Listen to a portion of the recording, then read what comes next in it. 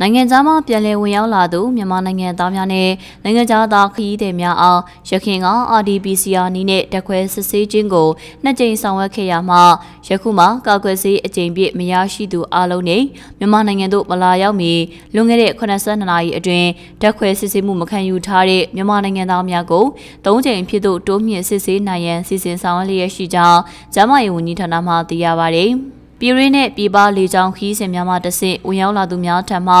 မျိုးဗီဇပြောင်းယောဂပိုးဝင်ရောက်မှုမရှိစေရအတွက်အပိပိဆိုင်ရာဝင်ထွက်ဂိမ်းများနဲ့နေဆက်ဝင်ထွက်ဂိမ်းများမှဝင်ရောက်လာမဲ့ခီးသွားများအတွက်အသွာလံကတ်သက်မှုနဲ့တက်ခွဲဆက်သက်စစ်ဆေးခြင်းဆောင်ရွက်မဲ့အစီအစဉ် 3ရက်17လ2021အရ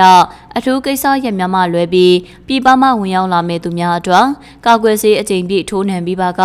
ကွရတင်းကာလ9ရက် RDPCR စစ်ဆေးမှု2ကြိမ်ကာကွယ်ဆေးအကြိမ်ပြည့်ထိုးနှံမှုမခံယူရသေးပါကကွရတင်း10ရက် RDPCR စစ်ဆေးမှု2ကြိမ်စာတီတို့ကိုတိကျစွာဆောင်ရွက်လျက်ရှိကြောင်းကျန်းမာရေးဝန်ကြီးဌာနမှသိရပါတယ်။ ပြည်ရင်းလေကြောင်းခရီးသွားလာခြင်းလုပ်ငန်းများပြေးဆွဲရမှာ COVID-19 ကာကွယ်ထိန်းချုပ်ရေးလုပ်ငန်းလမ်းညွှန် version 2.5အရဆောင်ရွက်လျက်ရှိရာကာကွယ်ဆေးအကြိမ်ပြည့်ထိုးနှံပြီးသူများအနေနဲ့တက်ခွဲစက်သက်စစ်ဆေးခြင်းဆောင်ရွက်ရန်မလိုပဲလိုက်ပါစီးနှင်းနိုင်တော်လေကာကွယ်ဆေးအကြိမ်ပြည့်မထိုးထားသူများအနေနဲ့ကျန်းမာရေးဝန်ကြီးဌာနမှသတ်မှတ်ထားတဲ့ဆေးရုံဆေးကမ်းများမှာ RDD နဲ့စစ်ဆေးခြင်းအားလေရင်မစည်းနှင်းမီ48နာရီအတွင်းအခမဲ့စစ်ဆေးပြီးလိုက်ပါစီးနှင်းနိုင်ကြောင်း ဒါအပြင် Omicron ကူးစက်ဖြစ်ပွားနေတဲ့အိန္ဒိယနိုင်ငံများနဲ့ထိစပ်နေတဲ့ဒေသများမှာခရီးသည်များလိုက်ပါမယ်။အချို့ပြည်တွင်ခရီးစဉ်များကိုယာရဆိုင်ခြင်းနဲ့